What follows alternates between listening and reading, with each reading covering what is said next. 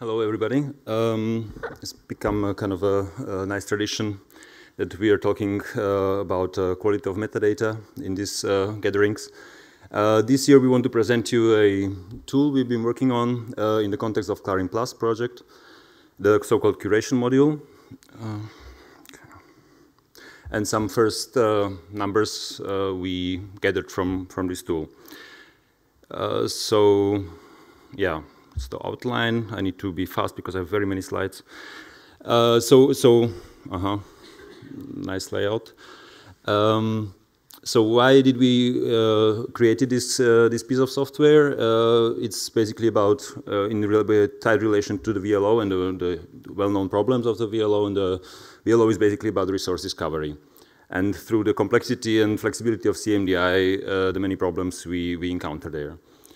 Uh, and there was there's uh, a lot of uh, previous work on, on this topic. Um, yeah, so we already know some numbers. So the metadata number of records, MDI records in, in the VLO is, is growing nicely. So we are somewhere around 900,000 this around this time, and it's floating a bit. So, and we have the many different uh, public profile, CMDI profiles. Uh, as well as many components, uh, which yeah gives uh, quite a complex data space to find your way in. Way in. Um, so what is the curation module? Uh, the idea is uh, that uh, a tool for, for curation and normalization of this and, and, quality assessment, especially of this CMDI metadata. actually, it's a bit of a misnomer, misnomer right now, curation, because it's really primarily doing metadata quality, the quality assessment of the metadata.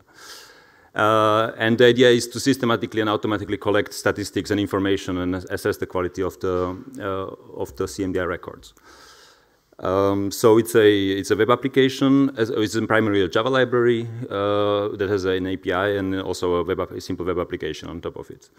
Uh, and the use cases where where this software can be used. Uh, so it could could be used by the metadata author when he's creating new records and want to assess the quality of the record he's creating. Uh, for the metadata model, when he wants to see the quality, assess the quality of their profile, or if they are to choose a new profile, then they can have a look at the existing profiles and the quality of theirs. So it can help them to decide. Uh, also, repository administrator to see the overall quality of the collection of the uh, in their repository. Uh, as well as for the metadata curators on the kind of VLO side of the uh, of the process uh, to, to identify the problems uh, in, the, in the big uh, data set. Um, and this kind of ties in, in, in our, as I said, to our previous work. So this is a picture from two years ago where we already talked about this curation uh, box uh, that should be part of, of, the, of the pipeline from harvesting the metadata to to getting them into the metadata catalog and having the, some validation and, and quality checking in between using vocabulary service and the semantic mapping uh, based on the, on the concepts on the, uh, yeah. Uh, and, and informing, the important is the upper part, uh, informing also the data providers uh, about this quality through some kind of curation reports. And this is from previous year. Uh, okay, no details here, but, but similar idea of having a kind of a VLO dashboard where you can gather all the information from the different uh, uh, parts of the process, from the, from the harvesting and from the validation and normalization into one nice uh, application where you can easily find your way in and identify the problems. So let's get to the actual application. How does it work and what does it do? Uh, so you can either um, check your specific one file by simply inputting a, uh, so that's the first one uh, where you have a specific form and you just put a URL of, a, of an instance of, or a profile and you get it uh, assessed uh, immediately. Or we also pre-process a lot of information about the profiles and about all the collections that are in the, in the VLO uh, so that you can uh, inspect, that are ready to inspect there. so let's go there one by one so the easiest way to to check one one single record is to take from from uh, the VLO, the, the URL to the actual record, to the raw CMDI record, uh, put it into, hmm? yeah, put, uh, put it into the form of the curation module, and go SS instance, and you get uh, immediately uh, a report. This is not very nice, but it has a lot of information in it. Uh, it has an overall uh, scoring section where it gives you the numbers so uh, for the individual aspects criteria that were assessed. The, and there are then specific sections on different aspects of, of, the, of the record. So one is on the resource proxies, uh, the other is on the XML, overall XML validity and, and aspe some aspects of the, of the XML uh, altogether. Then there is a separate section on the URL validation. So the links, the resource proxy links to the resources. Um, and there is a separate uh, detailed section on the facet because the facet coverage and the mapping to facets is kind of the one of the big issues we have in the VLO. And I really very much like this section uh, where you have the, really a detailed information on uh, which uh, value from which X path in your given metadata record through, through which concept was mapped to a given facet, right? So you really see the path, how these all the pieces of the of this of the, in this complex mapping process work together, and uh, also optionally some normalization if if that uh, occurred. And then you have some statistic below giving you overall number, uh, how many facets are covered uh, or are missing. Um, and in the end, you have a summary of the issues that were encountered. So some are warnings, some are really errors. For example, when a URL was not reachable, uh, or if there is XML schema validation problem, and so on.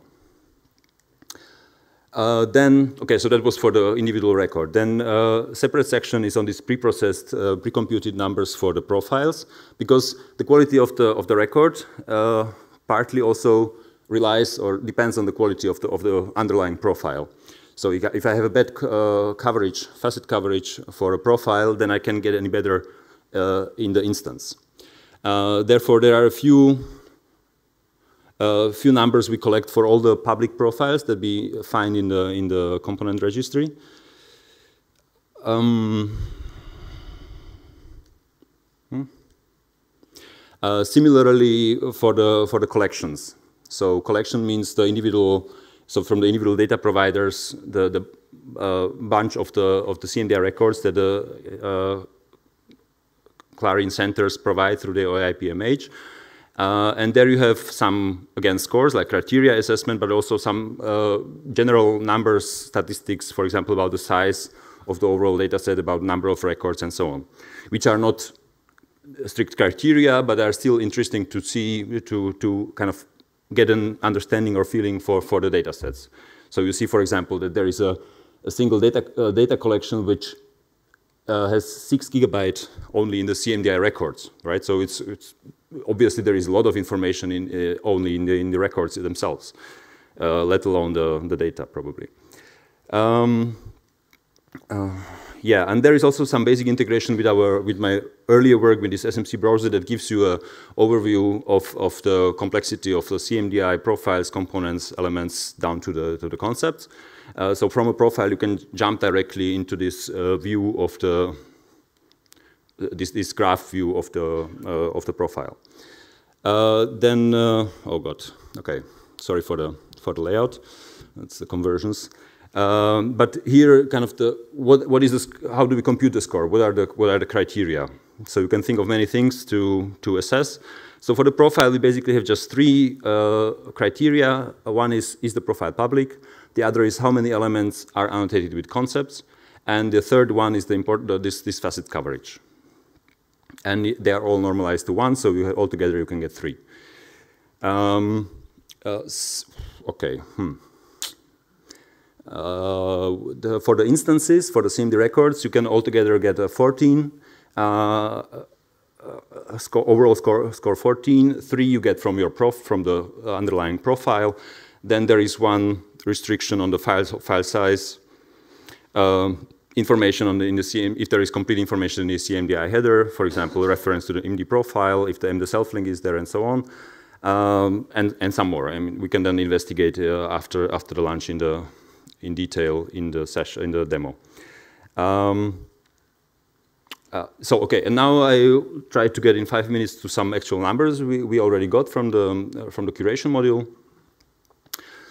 Uh, so you get uh, this assessment criteria, the scores, but you get also the information on the facet coverage, uh, on the on the concept coverage, and also all these kind of statistic uh, statistical numbers on the, on, the, collections.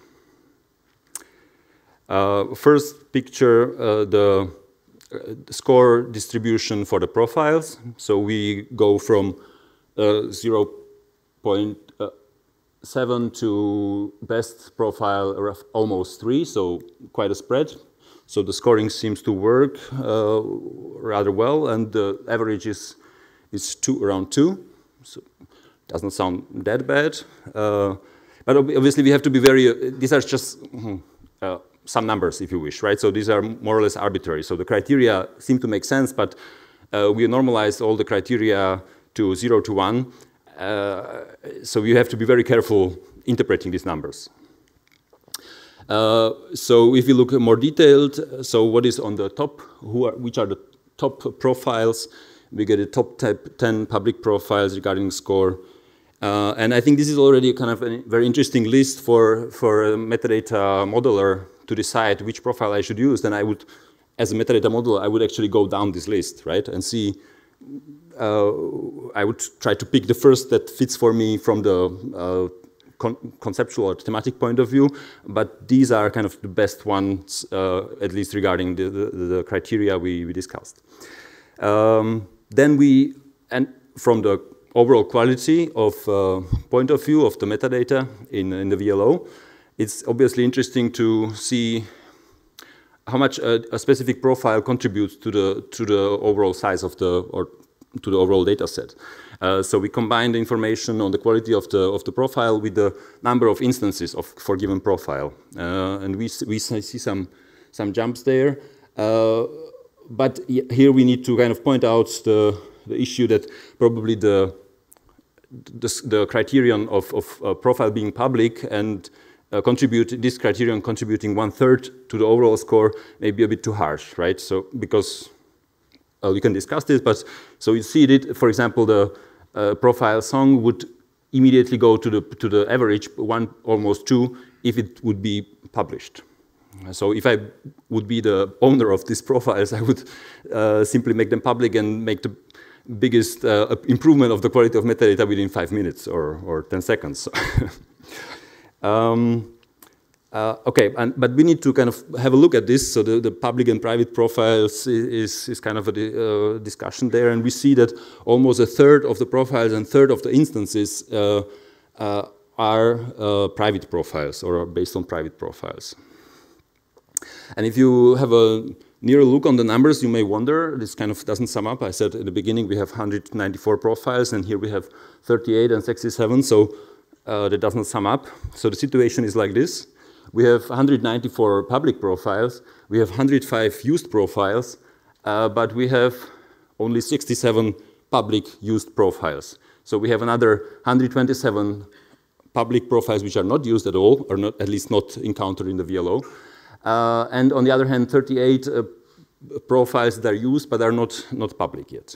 And I think this also, yeah, uh, so one obvious or the usual kind of reason to not publish the profiles is this the need to if I to oh okay my time is up so I won't explain that one. Uh, uh, similar numbers for the for the or uh, statistics for the collections. So there the spread is actually not so bad. So it seems rather good. We are between 9.3 and, and 12 with an average of 10.8. Uh, but obviously there are probably some cheap uh, score criterions to, to gain.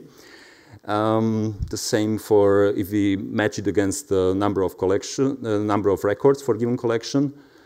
Um, so overall, the, the, numbers are not so bad. So the question is why, why, we have this problem in the still the big problems in the VLO. And I want to still uh, have a look at this one thing. So the, the, the facet uncoverage, the big issue we identified, kind of the most disturbing issue we identified last week, uh, last year, uh, that many of the facets are not So many of the records are not covered by in individual facets at all. So it's like partly it's uh, two, three fourths, three quarters uh, of the records cannot be found by a given facet at all. And uh, so the improvement uh, to this year is rather modest. So we have some minus, some small plus, and but in general a bit minus, but not not really some significant change, except for the, if you look into this resource type, uh, where the normal change is also not so big, but uh, when we employed a special uh, additional mapping from uh, getting the information from the profile name, we got to a, quite a significant reduction there. So I think that is the way to go. I can't explain here more. and the last thing to yeah, so this is kind of again uh, plotting the, the, the score, and so so concentrating just not for the overall score, but just for the, the score for the facet coverage, so which is between zero and one, uh, and plotting it against the size of the collection. So you see some big collection with good coverage, big collection with, with bad coverage, small collections with good and bad coverage, and so if we are to kind of now concentrate on individual collections, then obviously this would be the way to start, right? So big collections with bad coverage. And the similar setup we see for the profiles, uh, where we should probably start from top, uh, bottom up and, and from right to left, so to say, to, to have a look at that. Um, yeah, and I think, yeah, then many things we are planning for the future. Uh, nicer visualizations, better, better output of the information, um, calibration of the scoring, obviously, so probably the facet coverage should be weighted more in the overall score, uh, etc. And we are welcoming any other suggestions, so we will continue working on this. And I want to here use the opportunity to thank uh, thank very much to, to Davor, who implemented this application. Um, yeah, mm, thank you for your attention.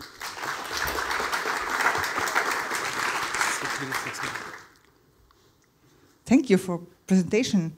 Uh, I hope uh, there are already questions. Yeah.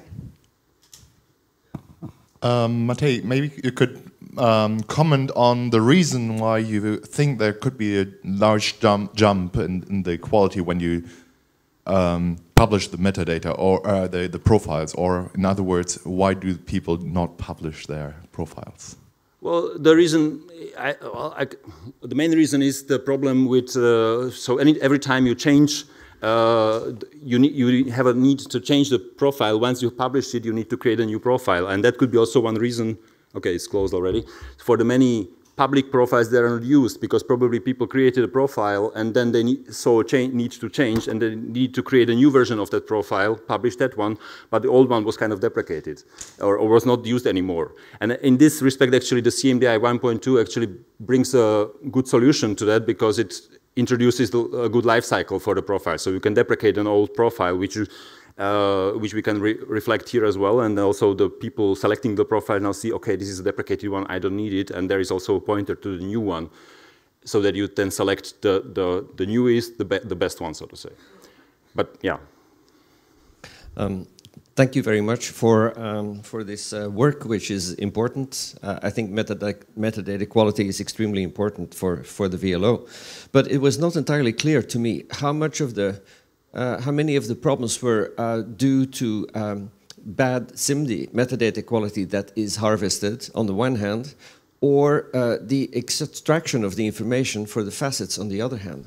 We have uh, repeatedly found that um, that information that gets to the VLO is, does not correspond to what we actually have in our CMDI metadata.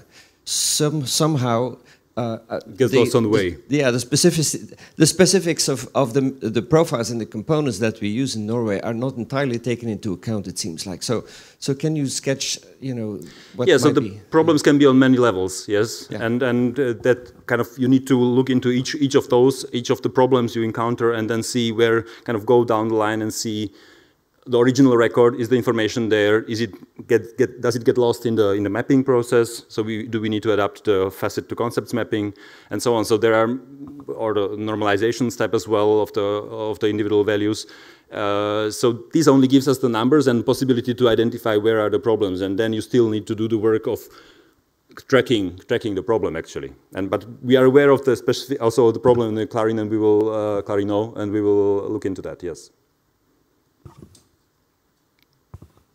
Maybe I can add a bit on the CMDI 1.2 feature is also that you now can pre-publish uh, a component or profile, which means that you can still be able to edit while it's even public already. But it's then just users need to be aware that potentially the profile can change, so it's not frozen.